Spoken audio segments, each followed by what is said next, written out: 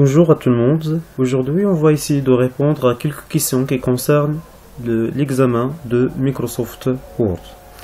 Euh, pour euh, répondre et pour apprendre même euh, le logiciel de Microsoft Word, on rappelle que Microsoft Word est un logiciel de traitement de texte. Pour nous, on va essayer d'utiliser la version 2010 qui est une version très simple. Et bien sûr celui qui va euh, maîtriser cette version il peut aller même plus loin avec les versions 2013 ou bien 2016 comme, il peut utiliser d'une manière très simple la version 2007 on va essayer de commencer Inch'Allah.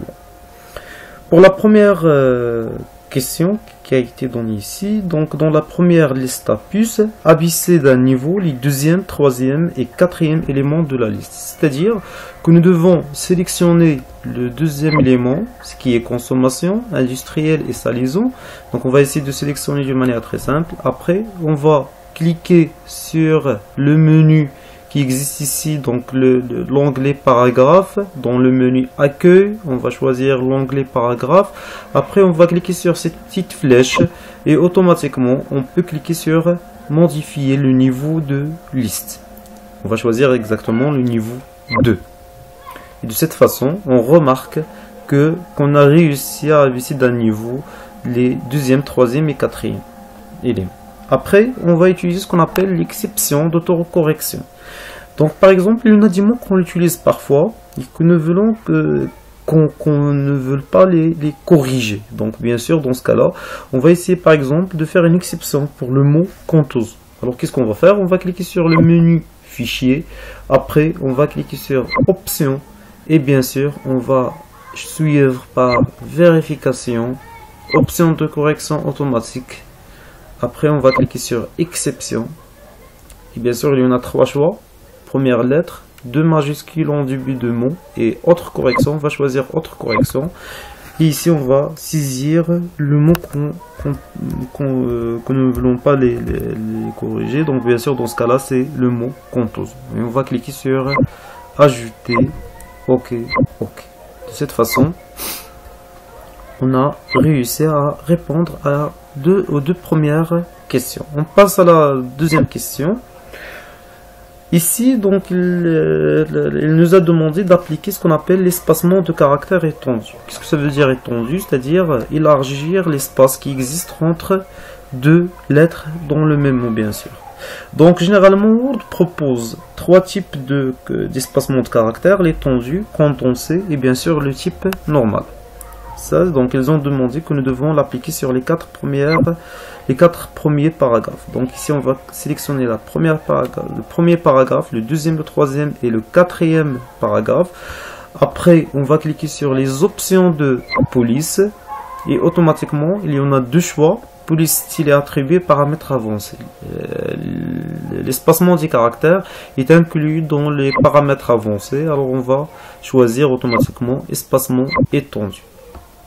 Bien sûr, quand on parle de, euh, des, examens ce sont des examens qui sont proposés par la société Microsoft. Ça, c'est un simple simulateur qui, peut donner une idée sur ces examens. Alors, de cette façon, on peut dire qu'on a réussi à créer ce qu'on appelle espacement euh, étendu des paragraphes. Après, on va essayer de d'insérer le table de matière. Alors, pour expliquer un petit truc, donc euh, le texte qu'on a devant nous, euh, on a déjà sélectionné les titres, c'est-à-dire titre 1. Après, il y en a euh, ici par exemple si on clique sur ce titre, donc c'est un type titre 1 aussi, type de sel et leur utilisation. Si on clique sur euh, le sel de mer, c'est un, autre titre ici. Donc on peut dire qu'il y en a plusieurs, le sel de table, donc il y en a plusieurs titres qui sont déjà sélectionnés. Par exemple, production de sel, c'est un titre 2. Alors, ce qui est demandé, donc, bien sûr, quand on écrit notre euh, texte, on y a besoin d'insérer une table de matière ou bien un sommaire. Dans ce cas-là, on va sélectionner, donc la question est très simple, insérer une table de matière personnalisée de sorte qu'elle remplace le texte, insérer la table de matière ici, située sur le titre table de matière, appliquer le format soigné et afficher uniquement les niveaux de titre 1, 2 et 2 sans point de suite. C'est-à-dire, on va cliquer sur référence, car la table de matière c'est une référence. Le sommaire c'est une référence car euh, nous, devons faire la liaison avec les titres qu'on a déjà précisés. Après, on va cliquer sur table de matière et automatiquement, on aura le choix de, prendre, euh, insérer une table de matière. Euh, on va respecter les, consignes de, l'exercice. Bien sûr, ici, on va choisir le type soigné 2 et bien sûr, son caractère de suite. On va cliquer sur OK. De cette façon, il y en a les réponses. Je vous remercie.